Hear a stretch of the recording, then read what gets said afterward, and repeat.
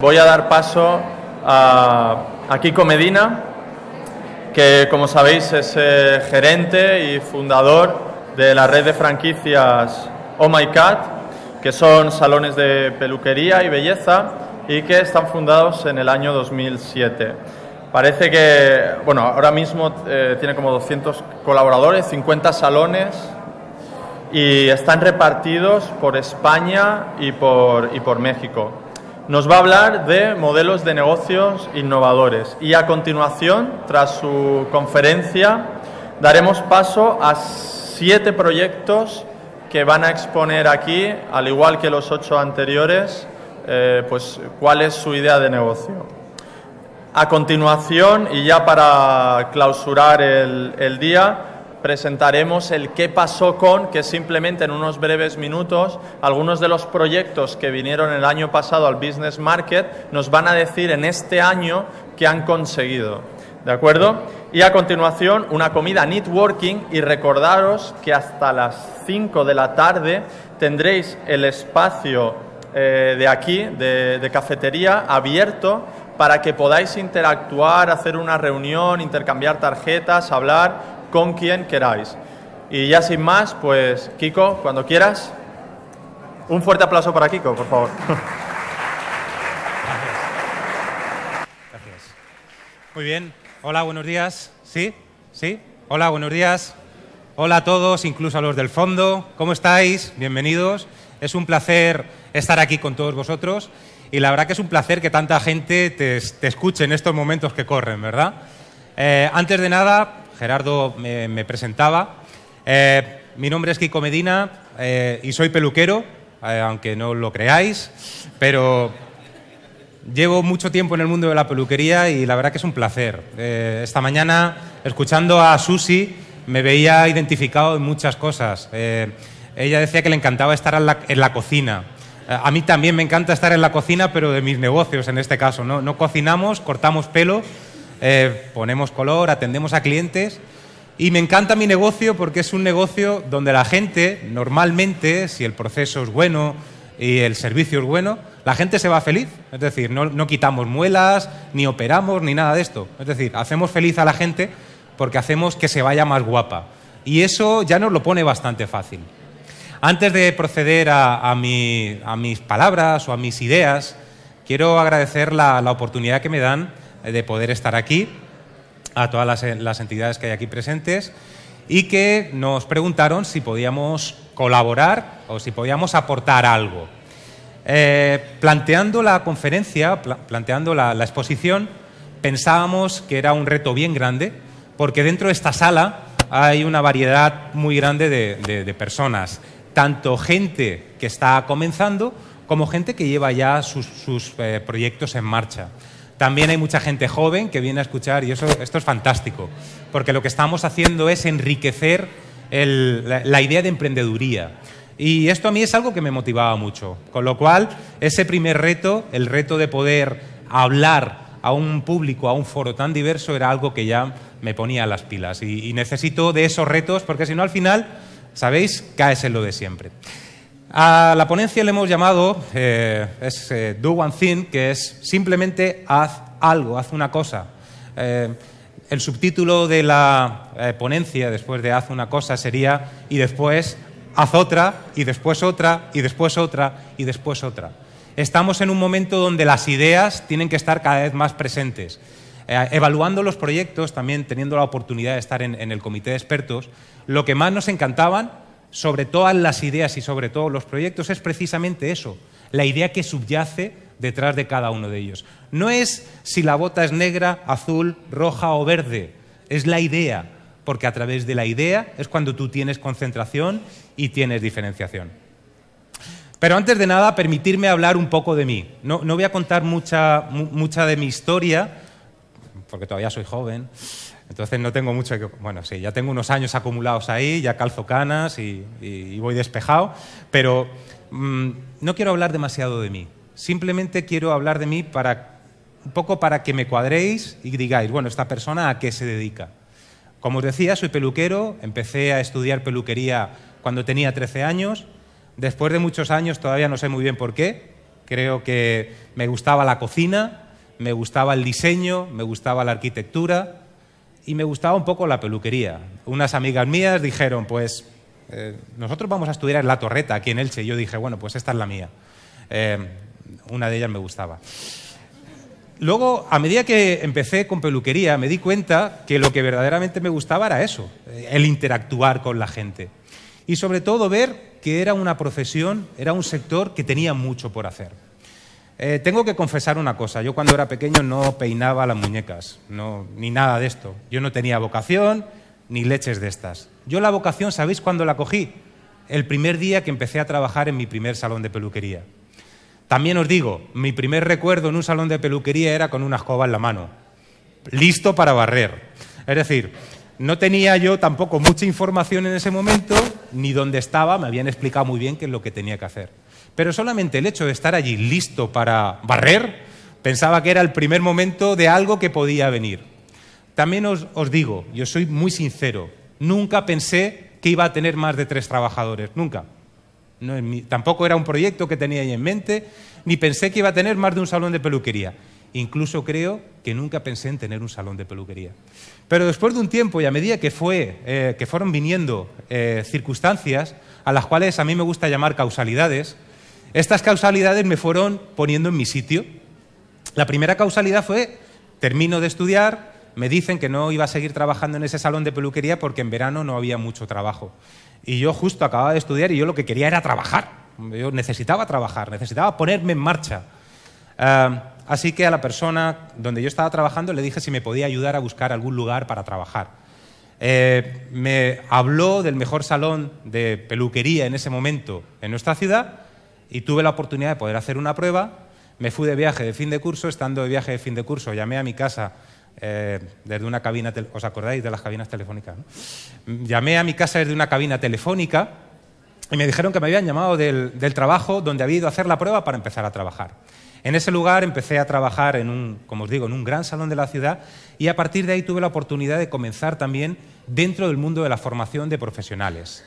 Eh, esa oportunidad de trabajar en el mundo de la formación me dio también la oportunidad de poder viajar.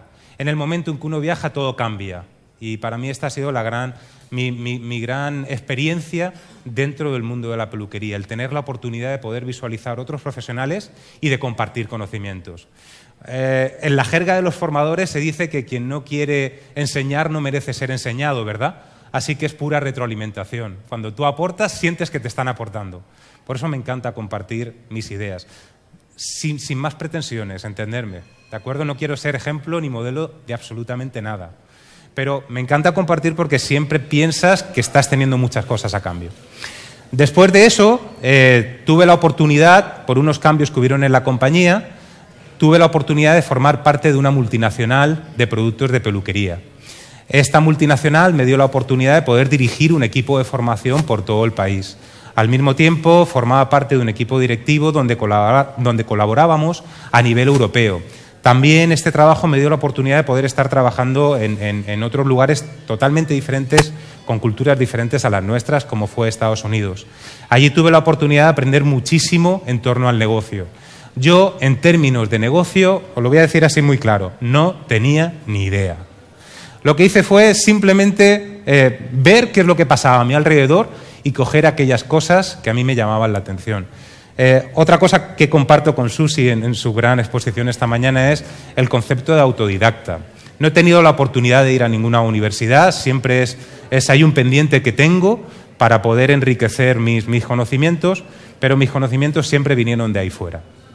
Eh, después de esa oportunidad, o durante esa oportunidad, monté mi primer salón de peluquería.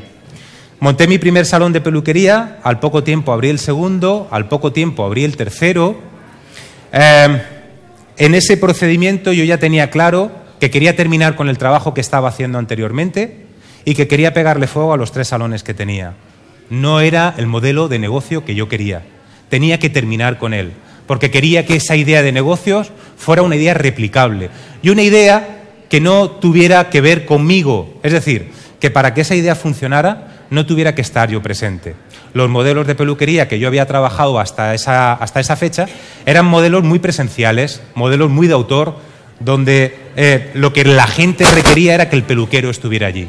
Y yo quería terminar con eso, así que decidí cambiarlo todo y decidí partir de cero. Eh, primer mensaje, podemos bajarle persiana y volverla a cerrar. No pasa absolutamente nada. ¿Sabéis qué? Los errores son errores, son parte de nuestros eh, aprendizajes. Los errores o un buen eh, empresario o un buen emprendedor está lleno de aciertos y de fracasos. Cuando no conoces el, el fracaso, quizá no conoces la otra parte de los negocios. Ojalá no lo hubiera conocido, pero bueno, lo conocí y ya que conocí ese fracaso, pues saqué el máximo de mis aprendizajes de ahí. Pero bueno, hasta la fecha. Comenzamos en el año 2007, después de cinco años, pues eh, tenemos actualmente 49 puntos eh, funcionando, tenemos 10 aperturas eh, previstas para los próximos tres meses, estamos funcionando por toda la geografía española y también comenzamos hace un par de años la aventura internacional. Otro reto, otro reto que proyecta a la empresa hacia adelante. Verdaderamente estos retos son los que sitúan a las compañías. Cuando tú no tienes retos, al final te conviertes en, una empresa vulgar, porque haces lo de siempre como lo hiciste siempre. Y normalmente teniendo los resultados que tenías siempre, o, sí, o, a lo mejor, en el peor de los casos, incluso peores. Bien, hasta la fecha, noviembre de 2013, en la que estamos, y lo que yo quiero hablar, lo que quiero comentaros o lo que quiero compartir con vosotros es acerca de qué es lo que bajo mi perspectiva significa emprender. Bajo mi punto de vista más personal que tengo, que es que no, no tengo otro, lo que quiero compartir con vosotros han sido algunos de mis aprendizajes y algunas de las claves para poder emprender y al unísono poder generar modelos de negocios innovadores. En definitiva, algo es innovador cuando mantiene la diferencia. Si eres capaz de ser diferente, eres innovador. Si no eres diferente o mejora lo que ya existe, no tiene sentido porque al final el propósito que yace detrás de tu proyecto tiene que ser un, propósito grande, tiene que ser un, propósito que te estimule y que saque lo mejor de ti. O por lo menos para eso me llamaron para, para venir aquí hoy, ¿no? Así que bueno, de estos quiero hablar. Primero de todo, tener las narices de salir de tu zona de confort. Os lo voy a decir otra vez, tener las narices de salir de tu zona de confort de la zona de, jo, estaría bien tener una empresa. Ah, ¿sabes qué? Voy a ponerme una lista de tareas para poder tener mi empresa. Voy a salir de mi sillón de comodidad. En otras palabras, voy a dejar la compañía donde estaba trabajando y voy a cerrar los salones de peluquería que tenía. Señoras y señores, eso verdaderamente es algo complicado y que asumir ese riesgo es, es a veces es como mirar al abismo, ¿verdad? Yo tenía un buen puesto de trabajo, tenía un buen salario, pero tenía bien claro que no quería seguir haciendo lo que estaba haciendo en ese momento. Lo que quería era llevar a cabo mi idea. En ese momento ya tenía claro lo que quería hacer. También en ese proceso eh, nació mi primer, eh, mi primer hijo y tenía muy claro que en mi vida no tenía que ser seguir viajando y seguir estando lejos de mi familia porque para mí siempre ha sido un puntal fundamental. Otra coincidencia con, Susi esta mañana, ¿verdad? Eh, así que todo empezó a, a girar ahí. Y dije, bueno, yo tengo que hacer negocios para vivir mejor. Mi propósito, ¿sabéis cuál era? No era cambiar el mundo, no era tan... Mi propósito era simplemente estar mejor, ni más ni menos. Fijaros. Y tomamos el riesgo, o tomé el riesgo, de salir hacia adelante y dejar lo que tenía. En segundo lugar, eh, crear el enfoque, buscar cuál es el enfoque que tú le quieres dar a tu proyecto. Y eso sabéis cómo pasa, generando las cuestiones adecuadas y tomando las respuestas pertinentes que te van a situar. Las preguntas que yo me hice desde un inicio es, bueno, ¿tengo que dejar mi trabajo, sí o no? Me daba un poco de caguelo. la verdad que estaba un poco cagado, permitirme la expresión. ¿Tengo que dejarlo, sí o no? ¿Tengo que buscar socios, sí o no? ¿Tengo que buscar socios, sí o no? ¿Tengo el dinero, sí o no? Bueno, no tenía dinero, hipotecamos la casa, esto a lo mejor os suena a alguien, hipotecamos la casa, buscamos financiación y también buscamos unos socios, donde esos socios, después de un tiempo, pues seguimos trabajando juntos y seguimos teniendo juntos nuestra idea. Y agradecidos. Y este es un mensaje subliminal para todos aquellos que estáis presentando vuestros proyectos. Está muy bien y hay gente que valora las ideas, ¿Sabéis qué fue una de las cosas que valoraban nuestros socios? Pues bueno, que había pasión detrás de la idea, y que había una idea. Y sobre todo que había futuro. La gente compra como envejecen las ideas, no compra las ideas para hoy. Los negocios de boom cada vez son menores y yo añadiría y peores. Por lo tanto, esto es quizá una, una recomendación muy personal, es creer en vuestras ideas y buscar si en esa pregunta de necesito socio o no, valorar en vuestros socios no solamente el dinero que os puedan aportar, sino verdaderamente la valoración que tengan de vuestro proyecto. Por lo tanto, durante esos enfoques que tú vas generando y esas preguntas que te, que te van haciendo, vas obteniendo lo que yo llamo los puntos de inflexión. Otro de los puntos de inflexión que tuvimos hace un tiempo es, ¿qué hacemos? ¿Cogemos y nos quedamos en local? ¿Nos quedamos en provincial? ¿Nos quedamos solo en nacional? ¿O salimos hacia adelante? En esas preguntas vinieron varios sucesos. Cuando empezamos, eh, tomamos la determinación de ir a México, pues nos equivocamos, nos equivocamos estrepitosamente. Nos acercamos a gente que no nos ayudó absolutamente nada. Nos, nos perjudicó, pero de ahí lo que hicimos fue obtener muchos aprendizajes. Y eso te volvió a situar. Y verdaderamente todas esas cuestiones que tú te vas haciendo son cuestiones que te sitúan en todo momento. Son lo que yo llamo los puntos de inflexión, buscar los vuestros. El punto de inflexión quizá para un negocio que hoy está emprendiendo es, quizá puede ser este desde salir ahí y transmitir la verdad. Yo si ayer les decía algo a la gente cuando estaba eh, haciendo la preparación de las presentaciones es eh, ser vosotros, obviar la presentación, los recursos, ser vosotros, ser vosotros, porque la gente lo que va a ver es qué hay detrás de la idea. Simplificando al máximo. No queremos ideas complejas. Estamos en un tiempo donde la gente lo que compra son simplicidad. Eh, estamos en, en, un momento de los, eh, se llama el momento de los 140 caracteres, ¿no? No podemos gastar más de 140 caracteres para expresar nuestra idea. Quizá eso podría ser limitante, yo digo que es estimulante. Eh, pues simplemente mirando eso que pasa a nuestro alrededor, si sois gente que, que observáis y que analizáis lo que pasa a vuestro entorno, os vais a dar cuenta de que la gente necesita ideas simples. Una idea y que llegue.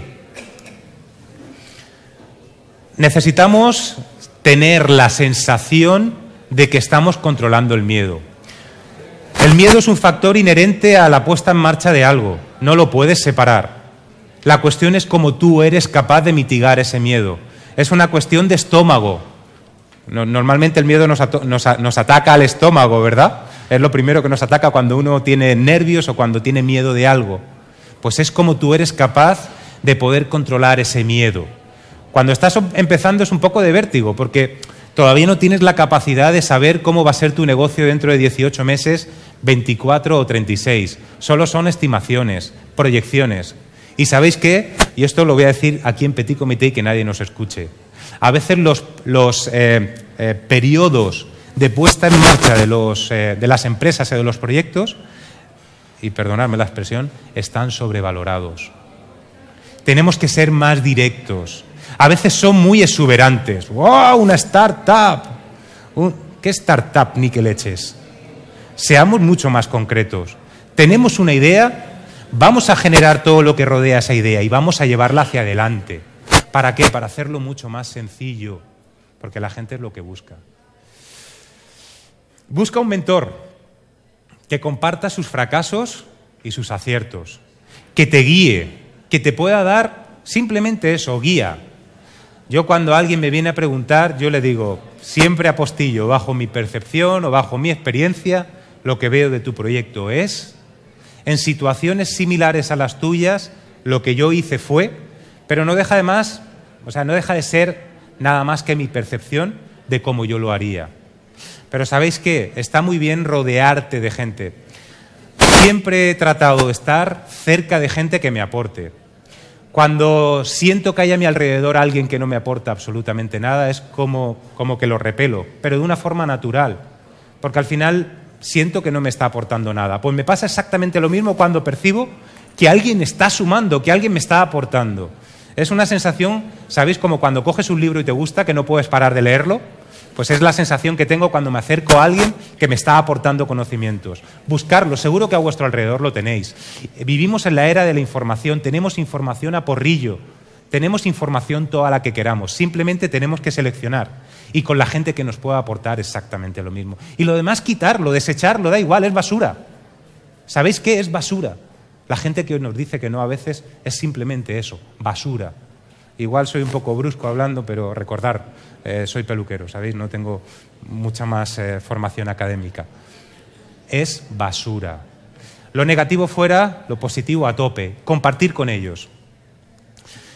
¿Y cómo? Vale, está muy bien todo esto que tú me dices, Kiko, está muy bien tu proceso de, de emprendeduría, está muy bien como tú comenzaste, pero ¿qué es lo que tengo que hacer? Pues bueno, lo que tienes que hacer, insisto, bajo mi punto de vista, es añadirle pasión. La pasión es cuando amas lo que haces y haces lo que amas. Cuando tú tienes pasión, la sensación que tienes es que el trabajo que estás haciendo no te cuesta.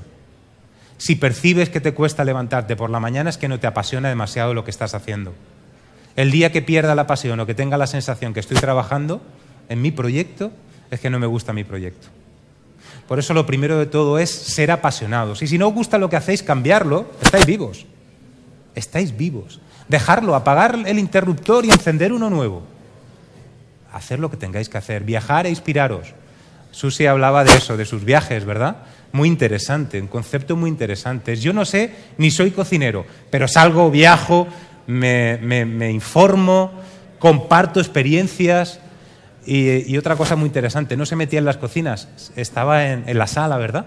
Viendo los platos, analizándolos, viendo las experiencias de la gente. Es fascinante escuchar esto. ¿Sabéis qué?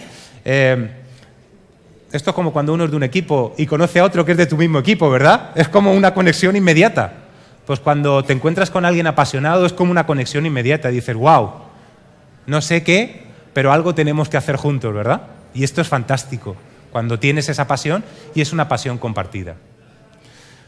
Eh, yo siempre cuando hablo de pasión hablo de un amigo que se hizo una novia en París.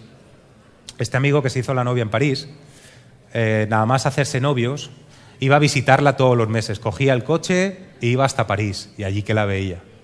Eso el primer mes. El segundo mes que ya bajaba un poquito la cosa, sabéis, la veía cada tres meses. Después cuando la cosa se iba enfriando un poco más, ya la veía un par de veces al año, hasta que lo dejaron. ¿Sabéis por qué? La pasión bajó y, sabéis, cuando hay pasión, eres capaz de coger el coche y hacerte 4.000 kilómetros en un fin de semana. Cuando no existe esa pasión, ver los 4.000 kilómetros. A lo mejor muchos de vosotros veis los 4.000 kilómetros hoy. Lo que quiero es que vuestra pasión por lo que estáis haciendo o por lo que vais a hacer eh, sean capaces de convertir esos 4.000 kilómetros en, 10 kilómetros. Sabéis que yo os contaba antes, cuando eh, comencé en el mundo de la formación, mi primer conferencia la di con 18 años. Me pusieron delante de 40 peluqueros y tenía que hablarles de las bondades de un producto que yo acababa de conocer hacía unos meses. Eh, y yo para ir a hacer esa conferencia me dieron las llaves de una furgoneta, que era la que en ese momento pues, tenía la compañía. Era una Citroën C15 sin aire acondicionado, sin calefacción y sin música. Y yo cogía los domingos por la mañana y me iba para allá. Casi todos los domingos viajaba, los lunes, martes, miércoles, jueves, trabajaba haciendo este, este estas eh, labores de formador y luego trabajaba en la peluquería los fines de semana. Me pasé muchos años trabajando siete días por semana. Eh, y sabéis qué? Yo cuando salía los domingos por la mañana de viaje, decía, joder, imaginaros, un chaval de 18 años, ¿no? 19 años, 20 años, mis amigos habían pegado la gran fiesta la noche anterior. Pero yo decía, esto vale la pena. No, sé muy bien para qué, pero tiene que valer la pena. Me saldrá en algún momento, ¿no? Y muchos amigos míos, después de tiempo, dicen, Jobar, eh, por ahí aparecen, ¿no? Tú siempre has sido cabezón, cabezón como tú solo. Me ha gustado la guerra, en sentido positivo, es decir, me ha gustado la marcha.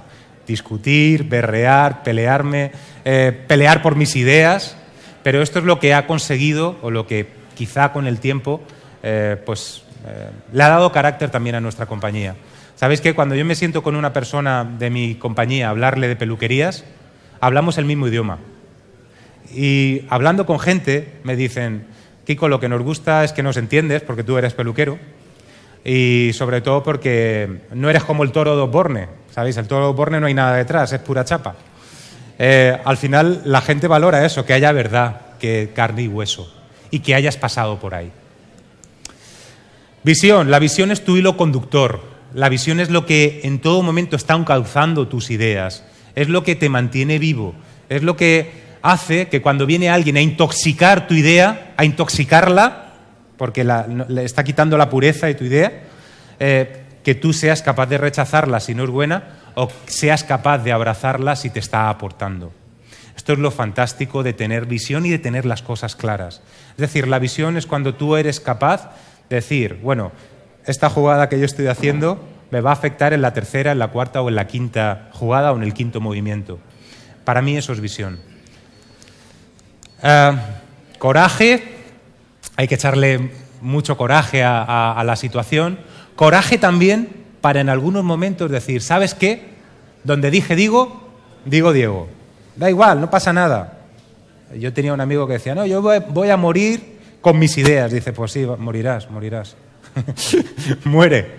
Y eso en términos de empresa es, vale, bien. Pues si vas a morir, que sea una muerte asistida, no una muerte producida.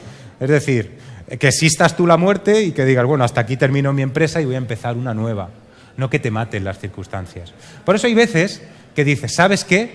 Ahora vamos a cambiar de dirección. Nosotros cuando nacimos nacimos en el sector del low cost de peluquería. No había low cost en peluquería y decidimos apostar por el low cost. En un momento, en el 2007, eh, un poquito antes de, comenzar oficialmente la crisis, no sé quién dio el pistoletazo de salida a lo de la crisis, con lo de Lehman Brothers, pues bueno, podían haber avisado, ¿no? Pero un, añito antes de ese, comienzo de la crisis, nosotros decidimos abrirla a, comenzar con nuestro proyecto y comenzamos pensando en el low cost. Dijimos, el low cost tiene que ser el, camino. Con el low cost vamos a poder llegar a mucha gente que quizá por precio van a decidir venir a probarnos. Pero ¿sabéis qué? Nacimos con la idea de ser un salón de peluquería low cost, pero con el espíritu de una compañía premium. Porque le dábamos mucha importancia a temas que incluso peluquerías premium o de autor no le daban importancia con, la persona con la que comencé la idea, hoy está por aquí presente, Pep, eh, comenzamos a, a generar la marca y a crear atributos para esa marca. Pero sabéis que cada una de las cosas que hemos hecho a lo largo de estos años se ha sumado a las anteriores. Pero hace 18 meses nosotros le dimos un giro a la compañía y dijimos, en lugar de ser una compañía low cost, tenemos que ser una compañía de valor añadido. No vamos a bajar, no es necesario bajar los precios vamos a enriquecer la oferta. Vamos a hacer que la gente se sienta mejor cada vez que viene a nuestros salones de peluquería.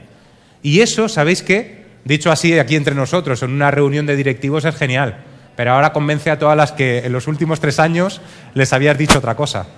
Y eso, para mí, también es tener coraje, saber cuándo tienes que dar un volantazo y cambiar las circunstancias. Ayuda, busca ayuda. Encontrar ayuda es, la vas a encontrar siempre que tu conducta ética haya sido buena, es decir, siempre que haya sido coherente, siempre que hayas aportado al tejido que hay a tu alrededor, a la gente con la que trabajas. Yo estoy totalmente convencido en que en el momento que tú estás aportando a la gente, la gente te va a devolver por tres. Es mi forma de pensar. Por eso la ayuda la vas a tener cuando tú estás ayudando a los demás. Es, simplemente una cuestión de conducta ética. Al mismo tiempo, en tus palabras también está reflejado tu forma de ser. Es, es gracioso cuando escuchas hablar a algunos empresarios y dices, por la boca muere el pez, ¿verdad? Es decir, aunque lo que estés diciendo parece que tiene sentido, pero detrás de ti subyace una idea negativa de a quien tú le estás vendiendo. A mí me, me encanta y comparto con mis colaboradores siempre la idea de si piensas que tu cliente es tonto, el tonto eres tú. Si piensas que tu equipo es tonto, el tonto eres tú. Verdaderamente lo que el pensamiento que tú tienes sale por tu boca, eso es inevitable. Y tu forma de actuar mediatiza totalmente tu conducta ética, tu conducta ética hace que la gente se acerque más o menos a ti. Y suerte. Sí, señores, hace falta algo de suerte, pero ¿sabéis cuándo viene la suerte? Cuando hemos cubierto cada una de las etapas anteriores. Estás en disposición de tener suerte. El famoso libro de la buena suerte, ¿verdad? Crea tus circunstancias. Crea tus circunstancias, haz que, que, los árboles que hay alrededor no permitan o no impidan crecer la semilla que tú estás plantando. Hoy hay más sombras que luces, desgraciadamente, a nuestro alrededor. Hay muchos árboles que parece que nuestra semilla eh, le impida el crecer.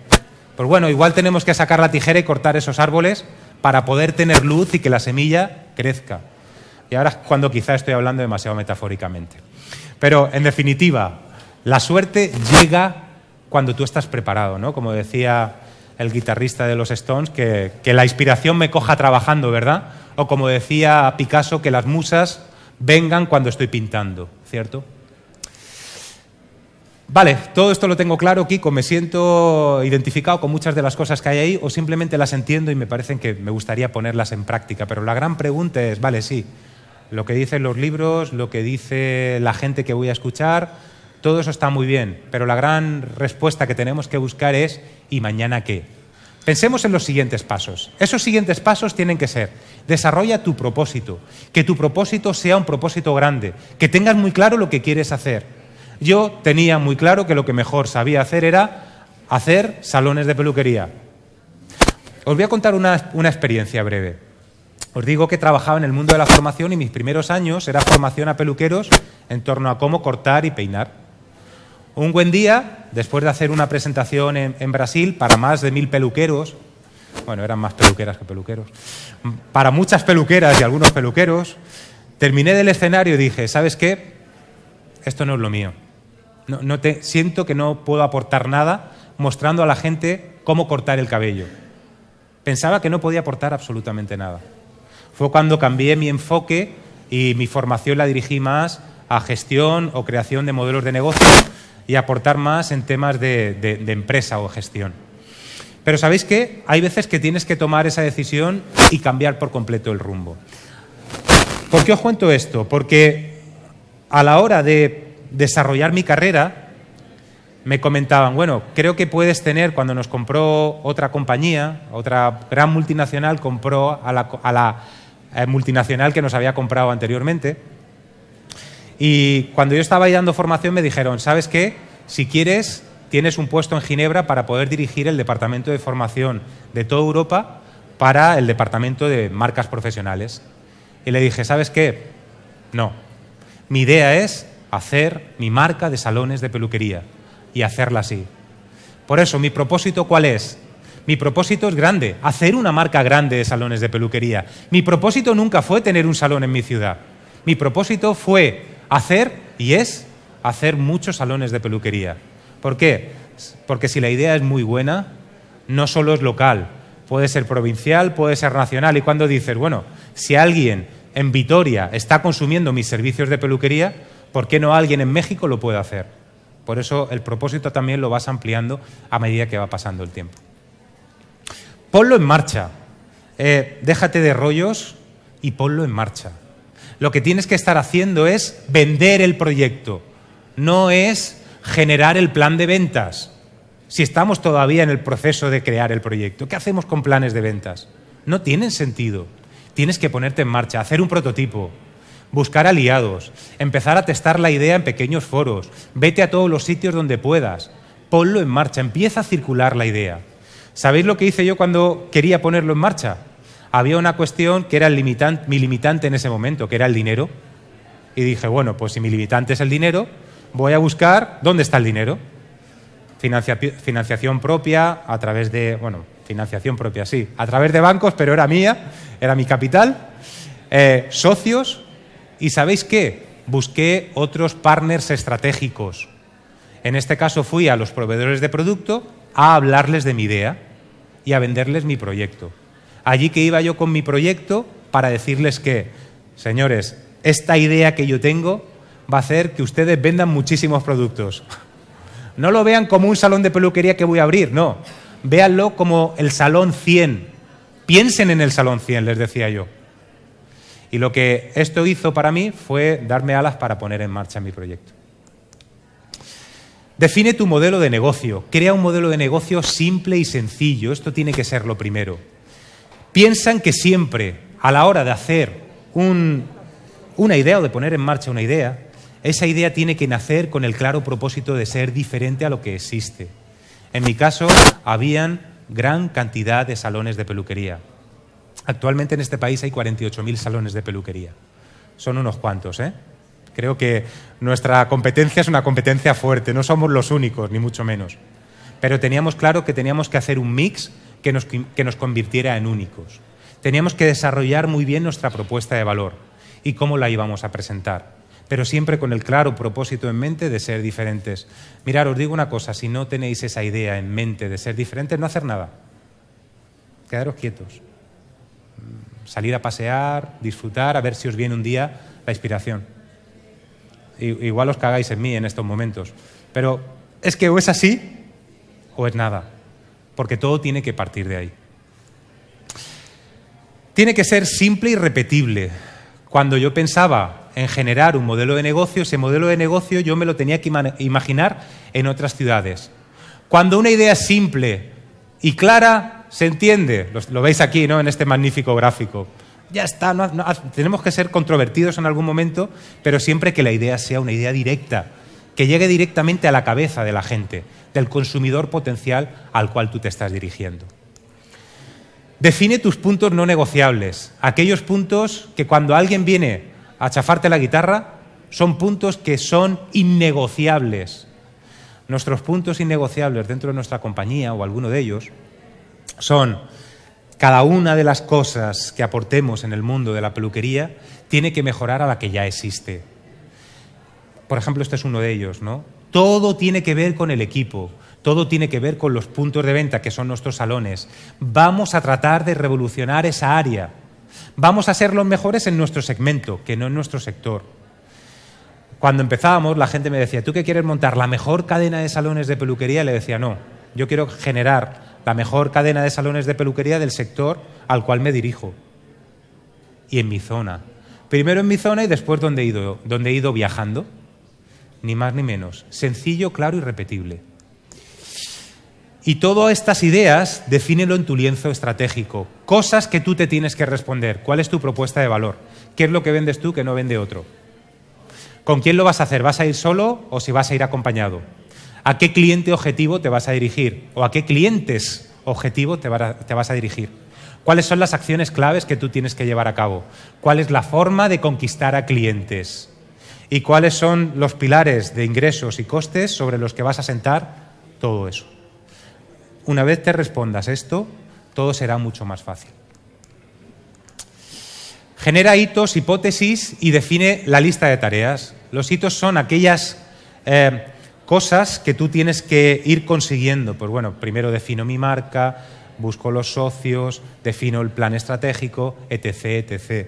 Las hipótesis es piensa, eh, hazte un what if, piensa el qué pasaría si hiciera esto. Y por último, un listado de tareas bien sencillo. No mires más allá de, no sé, tres meses, seis meses, porque a veces es un poco difícil y las cosas se van complicando. Por último, y a modo de eh, conclusión, que no de ejemplo, unos cuantos aprendizajes que resumen bien todo este procedimiento. El primero, mis fracasos siempre supusieron un impulso para mí. Me he equivocado un montón de veces, eh, pero siempre salí hacia adelante. O sea, tengo la parte de decir, joder, macho, te has equivocado mucho. Pero la otra parte es, el tiempo que he pasado lamentándome ha sido ínfimo. Yo tuve un gran suceso una semana antes de poner en marcha mi negocio. Uno de los socios con los que iba a empezar decide no continuar. ¿Os imagináis la situación? Catastrófica, ¿verdad? ¿Qué va? Todo lo contrario. Dije, oportunidad y a tomar viento. ¡Pa'lante! Este es mi momento. Y la parte buena es, joder, pues mejor que pase ahora que que no pase cuando llevamos un año, ¿no? El tiempo que tú pasas lamentándote es tiempo que estás perdiendo. Uno, el tiempo que pasas lamentándote. Dos, cómo te recuperas. Tres, lo que has aprendido. Interesante el concepto. Siempre estos fracasos para mí fueron un impulso. Yo la primera vez que recibí una formación para dar formación, valga la expresión, me dijeron que yo no valía para dar formación. No sabes hablar, no te sabes expresar, no puedes dar un curso hasta dentro de dos años, hasta que no pases toda esta formación. Y yo dije, ¿cómo es esto? Esto no puede ser, si a mí lo que me gusta es esto lo pasé muy mal el primer día que me puse a hablar delante de la gente, porque mi, mi, forma, quizá no soy el tío más extrovertido del mundo. Pero dije, lo que me gusta es esto, y diréis, mentiroso. Eh, pero lo que me gusta es esto, es comunicar y es compartir. Así que dije, me voy a poner las pilas. Y en menos de tres meses hice mi primer curso después de que me dijeran eso. ¿Lamento o actuación? ¿Es tiempo de lamento o es tiempo de actuación? Siempre preferí que fuera tiempo de actuación. Por eso cuando viene alguien lamentándose, no me gusta nada. Sobre todo porque digo, el día que no corra sangre por mis venas será el día que yo me lamente. Será el día que esté muerto. Mientras tanto, lo que voy a hacer es trabajar, trabajar, trabajar y trabajar. La percepción crea la realidad. Desde un inicio, nosotros con el primer salón ya queríamos lucir como si tuviéramos 20. Venía gente que nos decía, ¿esta cadena de dónde es? ¿Que es de Estados Unidos? ¿La habéis traído de Inglaterra? ¿Qué hacéis? ¿Os vi anunciados en no sé dónde? La percepción crea la, crea la realidad. ¿Cómo puedes crear esa realidad? Apareciendo en foros locales, en todos los que puedas, participando, que te vean, proyectándote, haciendo más grande tu compañía de lo que realmente es. Retos, ponte a prueba. Nosotros cuando empezamos, empezamos pensando en que no teníamos que abrir un salón de peluquería, teníamos que abrir muchos. Así que el reto es, venga, vamos a buscar locales en esta ciudad y en esta otra. Y a veces mis socios me decían, pero si todavía no hemos abierto la segunda y tú estás cogiendo y buscando locales para la sexta, da igual, me da lo mismo. En el año 2009 cambiamos de oficinas. Cogimos unas oficinas de 320 metros, salían bien, nos parecía que la zona estaba muy bien y cogimos esa oficina. ¿Sabéis cuántos, cuánta gente llegamos a la oficina de 320 metros? Tres. y uno de ellos era mi hermano, ¿no?